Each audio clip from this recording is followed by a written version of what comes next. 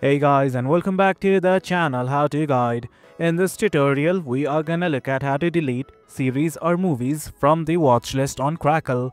Now let us begin. Do note that I have already logged into my account and in my previous video I had taught you guys how to add any movie or series to the watch list.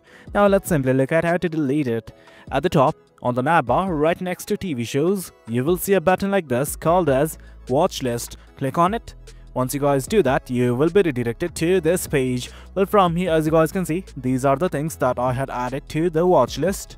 Now let's simply try to delete them.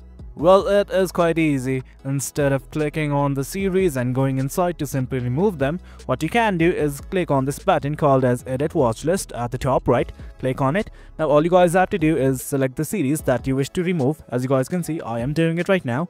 Once it's okay with you, simply click on Remove. It's the red button on the top right.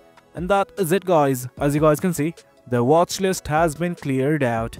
Well guys, that is it. That's how you clear out your watch list. Hope you guys found this video informative and for more content like this do remember to hit like, share and subscribe. Your support fuels us. Until next time, thank you.